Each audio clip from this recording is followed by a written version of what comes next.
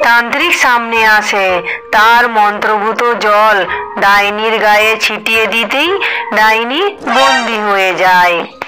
তারপর ডাইনিকে একেবারে ছোট করে একটা কাচের বোতলে ঢুকিয়ে ফেলে। শিমুলতলি গভীর জঙ্গলে এক গুহার মধ্যে মোহিনী নাগিনীর অনেক বাচ্চা হয়েছে।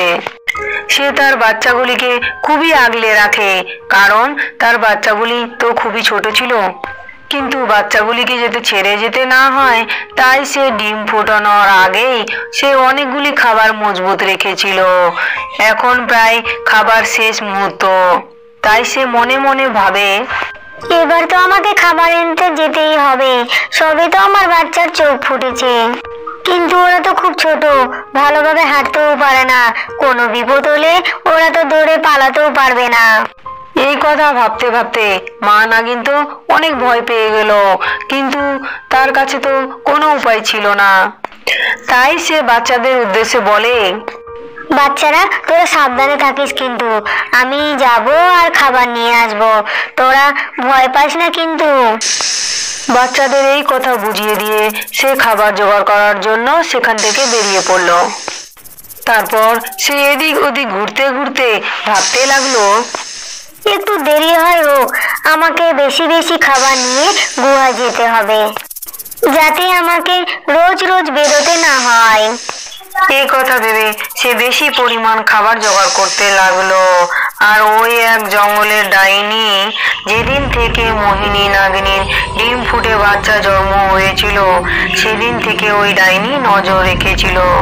সে মনে মনে ভেবেছিল যে মা নাগিনী যখনই গুয়া ছেড়ে বাড়াবে তখনই ডাইনি বাচ্চাগুলিকে ধরে মন ভরে খাবে। এমনই একদিন নাগিনী খাবার খুঁজতে গুয়ার বাইরে যেতেই আজ সুযোগ পেয়েছি। আজ নগিনীর কচি কচি বাচ্চাগুলিকে খেয়ে আমার প্রাণ জুড়বো। মোহিনী নাগিন অনেক খাবার জোগাড় করে বেশ কিছুক্ষণ পর যখন গুহায় ফিরল তখন সে দেখে, একটাও বাচ্চা নেই গুহা শূন্য। তখন সে চিৎকার করে ওঠে। বাচ্চারা, কোথায় গেলি তোরা? তোরা যে বড্ড ছোট, তোদের কে নিয়ে গেল তোদেরকে? নাগিনী তার বাচ্চাগুলিকে খুঁজতে খুঁজতে গুহা থেকে বেরিয়ে কিছুটা দূরে গিয়ে দেখে, মাটির ঘরের সামনে বসে, ডাইনি বসে বসে যেন কি খাচ্ছিল।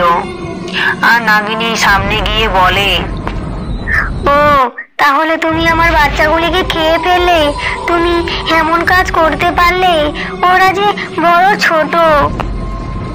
চুপ কথা বেশি ফ্যাচ ফ্যাচ করিস না তোর বাচ্চারা ঠিকই আছে। যদি তুই আমার কথা না শুনিস তাহলে সত্যি সত্যি তোর বাচ্চারা মারা পড়বে। কোথায় আমার বাচ্চারা? আমার বাচ্চারা সুরক্ষিত আছে তো আমি তোমাকে বিশ্বাস করছি। বলো আমায় কি করতে হবে? তোর ছানারা সুরক্ষিত আছে। তুই আমার জন্য রোজ খাবার এনে দিবি। তাহলে তোর ছানারা সুরক্ষিত থাকবে। আমি তোমার খাবার আনব। আমি তোমার খাবার কি করে আনব? আমি তো এক নাগিন, আর আমি তো এই জঙ্গলের বেশি কিছু চিনি না। আমি কীভাবে জোগাড় করব তোমার খাবার? ওইসব আমি জানি না। ছানাদের যদি বাঁচিয়ে রাখতে চাস, তবে সেটাই কর। এই কথা বলে ডাইনি তার কুড়ে ঘরের দিকে চলে যায়। আর মা নাগনিও গুহার দিকে ফিরে যেতে যেতে ভাবতে লাগল হাই সৃষ্টিকর্তা, কি যে হলো? আমার বাচ্চাদের তুমি রক্ষা করো। ওই ডাইনির জন্য? আমার খাবার জোগাড় করতেই হবে।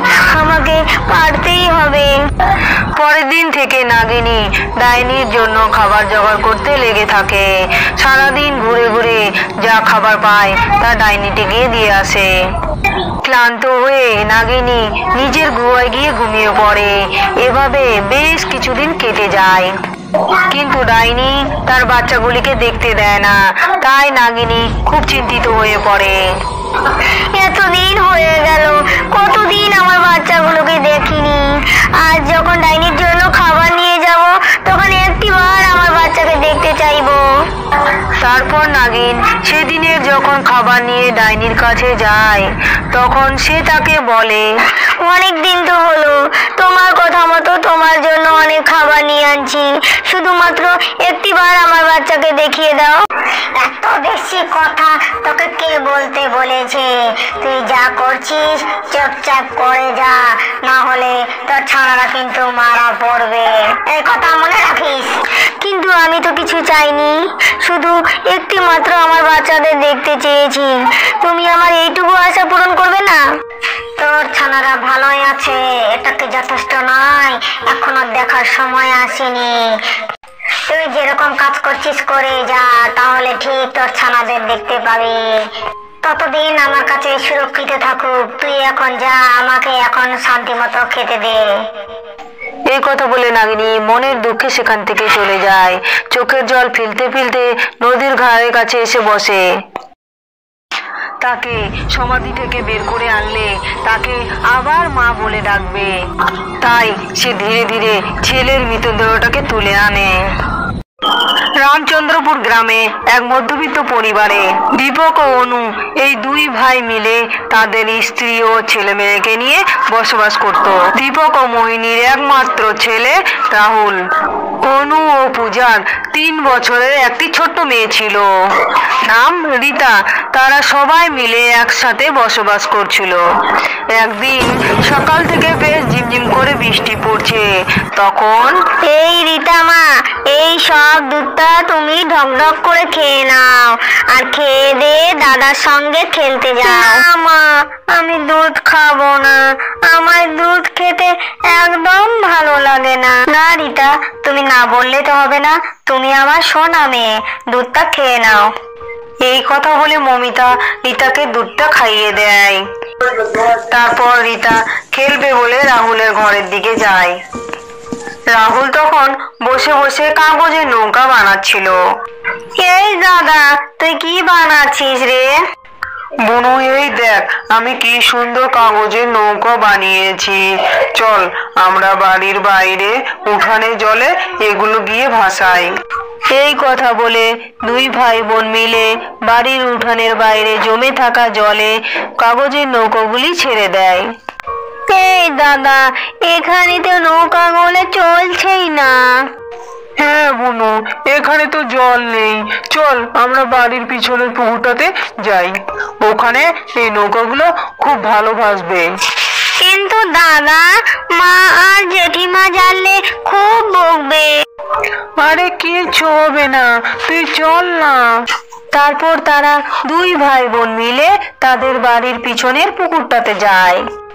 এবং রীতাকে পাড়ে দাঁড় করিয়ে রেখে রাহুল ঘাটের নিচে একটু নেমে রীতার দিকে তাকিয়ে বলে, বনু, তুই ওখানে চুপটু করে দাঁড়িয়ে থাক। একদম এখানে আসবি না, আসলে পড়ে যাবি। তুই ওখান থেকে দাঁড়িয়ে দাঁড়িয়ে দেখ, আমি নৌকাগুলো জলে ছেড়ে দেই। এই কথা বলে রাহুল যেই জলে নৌকাগুলি ভাসাতে যায়, অমনি পা পিছলে জলের অতল জলে পড়ে যায়। বাঁচাও বাঁচাও।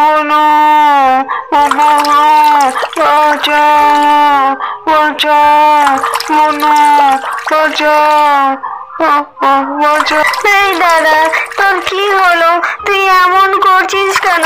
তুই উঠে না দাদা, আমার খুব ভয় করছে। তুই উঠায় দাদা। কিন্তু রাহুল হাবুডুবু খেতে খেতে ধীরে ধীরে অতল জলে চলে যায়।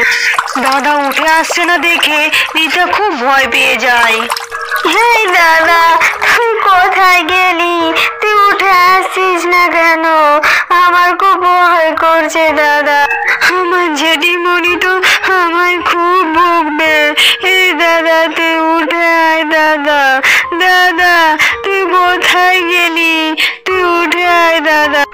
রীতা প্রচণ্ড ভয় পেয়ে কাঁদতে কাঁদতে দৌড়ে তাদের বাড়ি চলে যায়।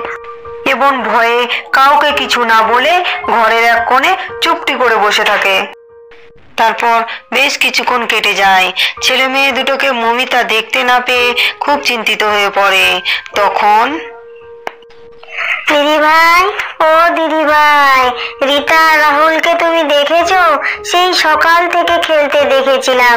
এখন বেলা হয়ে গেল, এখনও ফিরছে না দেখছি। কোথায় আর যাবে? দেখ হয়তো বাগানে খেলা করছে। না গো দিদি ভাই আমি তো বাগানেও দেখে আসলাম, ওখানেও নেই। তারপর দুই যা মিলে রাহুল আর রিতাকে খুঁজে বেড়ায়, কোথাও তাদেরকে দেখতে পায় না। বেশ অনেকটা সময় কেটে যায়। খবর পেয়ে দীপক আর অনু বাড়ি ফিরে আসে। বাড়ি ফিরে সব কথা শুনে রাহুল আর রিতাকে সবাই মিলে খুঁজতে বেরোয়। তারপর একটি মুদির দোকানে কাছে গিয়ে জিজ্ঞাসা করে, কাকা, ও কাকা, তুমি রাহুল আর রিতাকে কোথায় দেখেছ গো না রে, এদিকে তো ওরা আসেনি। দাদা, ওইদিকে কতগুলো ছেলে মেয়ে খেলছে। চলো ওদেরকে গিয়ে জিজ্ঞাসা করি। তারপর তারা ওই বাচ্চা ছেলে মেয়েগুলোর কাছে যায়। ছেলে মেয়েগুলো তারা টায়ার নিয়ে খেলছিল। এই রাহুল আর রিতাকে তোরা কোথাও দেখেছিস?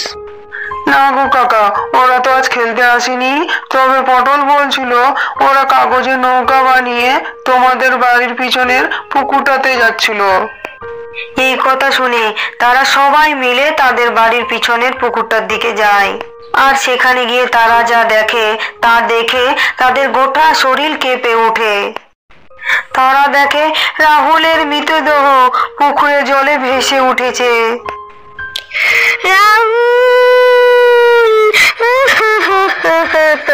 একই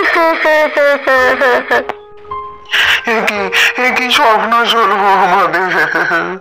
একই সর্বনাশ হলো আমাদের? তারা সবাই কান্নায় পুকুর পাড়ে ভেঙে পড়ে। তাদের চিৎকার শুনে গ্রামের লোকজন এসে পৌঁছয়। এবং রাহুলের মৃতদেহকে তুলে নিয়ে তাদের উঠানে গিয়ে শুয়ে রাখে। তারপর রাহুল রাহুল উঠে বস বাবা। কিচ্ছু হয়নি তোর কিচ্ছু হয়নি ওর। আমি ডাকলেই ও চোখ খুলবে। উঠ রাহুল, উঠ। অনেক দেরি হয়েছে। ভাত খেতে হবে। উঠ রাহুল উঠ রাহুল উঠ রাহুল। দিদি ভাই দিদি ভাই, সামলাও নিজেকে। আমাদের রাহুল যে আর নেই আর কোনো দিন চোখ খুলবে না আমাদের রাহুল। চুপ, একদম চুপ। কিচ্ছু হয়নি ওর, কিচ্ছু হয়নি ওর। তখন গ্রামের একজন লোক পাশ থেকে বলে, না না, আমাদের আর দেরি করলে চলবে না।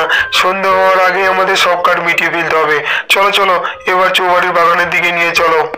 তারপর গ্রামের সবাই মিলে রাহুলকে তুলে নিয়ে চৌবাড়ির বাগানের দিকে যায়। কোথায় নিয়েছো? ওকে কোথায় নিয়েছো? না না ওকে কোথাও নিয়ে যাও না। ওর কিচ্ছু হয়নি। ওর কিচ্ছু হয়নি। ওর কিচ্ছু হয়নি। তারপর মোহিনী পাগলের মতো কাঁদতে থাকে। ঠিক তখন সবার কান্না শুনে রীতা বাইরে বেরিয়ে আসে। তোমরা দাদাকে কোথায় নিয়ে যাচ্ছ? তোমরা দাদাকে নিয়ে যেও না। আমি দাদার সাথে খেলব। তোমরা দাদাকে নিয়ে যেও না। তারপর সবাই মিলে চৌবাড়ির বাগানে বাচ্চাটির সমাধি দেওয়ার শেষ কীর্তি সম্পন্ন করে। এই চৌবাড়ির বাগানে শুধুমাত্র মৃত শিশুদের সমাধি দেওয়ার জন্য আনা হয়। এদিকে মোহিনী ছেলের শোকে সারা দিন কান্নাকাটি করতে থাকে। খাওয়া দাওয়া বন্ধ করে সে শয্যাশায়ী হয়ে পড়ে এবং কিছুদিনের মধ্যে সেও মারা যায়। তাদের বাড়িতে দীর্ঘ শোকের ছায়া নেমে এসে। এমনই একদিন কিচ্ছু হয়নি বাবা তোর কিচ্ছু হয়নি। তোকে এখনই তুলে নেব বাবা তোকে এখনই সুস্থ করে দেবো। এই দেখ এখনই এই দেখ। এই কথা বলে মোহিনীর আত্মা মাটি খুঁড়তে থাকে। সে ভাবে তার ছেলে এখনও জীবিত। তাকে সমাধি থেকে বের করে আনলেই সে তাকে আবার মা বলে ডাকবে। তাই সে ধীরে ধীরে ছেলের মৃতদেহকে তুলে আনে আর জড়িয়ে ধরে সে আদর করে। সে চিৎকার করে ডাকতে থাকে, কিন্তু রাহুল আর জেগে ওঠে না। এমন একদিন রাতের বেলা মিতা যখন তার মায়ের পাশে ঘুমিয়েছিল, বুনু, এই বুনু বুনু। দাদা তুই এসেছিস? আর এত রাতে তুই কোথা থেকে এলি? আর এতদিন তুই কোথায় ছিলিস? এই তো চৌবাড়ি বাগানে। এখানে আয় আমরা দুজন খেলব। খুব মজা হবে। কিন্তু এত রাতে গেলে মা আমায় খুব বকবে। কিচ্ছু হবে না। আয় না ওখানে আমার আমার মাও আছে। ঠিক তখনই রাহুলের আত্মা সেখান থেকে দৌড়ে পালিয়ে যায়। দাদা জেঠিমণিও তোর সাথে আছে। দাদা ওই দাদা কোথায় গেলি? দাঁড়া। রীতা রাহুলের পিছু পিছু যেতে থাকে। তখনই মমিতার ঘুম ভেঙে যায়। রীতা এই রীতা কোথায় যাচ্ছিস তুই? দাঁড়া দাঁড়া বলছি। মা, দাদা আমাকে খেলতে ডাকছে চৌবাড়ি বাগানে। ওখানে নাকি জেঠিমণিও আছে। রিতার এই কথা শুনে মমিতার হার হিম হয়ে যায় আর সে ভয়ে রিতাকে জড়িয়ে ধরে। কেউ নেই, কেউ কোথাও নেই। তুই কোথাও যাবি না, মা। সব সময় আমার কাছে থাকবি। তারা যে তোকে খুব ভালোবাসে, তাই তোকে তারা টানছে। এরকম গ্রামের অনেকে রাতের বেলা ওই চৌবাড়ির বাগানে এক মা ও তার ছেলেকে ঘুরতে দেখতে পায়। কখনো তারা কাঁদে, আবার কখনো ছেলেকে জড়িয়ে ধরে খিলখিলিয়ে হাসতে থাকে। আমাদের গল্প এখানেই শেষ। আমাদের গল্প যদি ভালো লেগে থাকে, তাহলে ভিডিওকে লাইক করে চ্যানেলকে সাবস্ক্রাইব করে দিন। আর নতুন নতুন গল্প দেখতে চাইলে বেল আইকনটি প্রেস করে দিন। আর কমেন্টে জানান আমাদের গল্পটি আপনাদের কাছে কেমন লাগল? ধন্যবাদ, বন্ধুরা।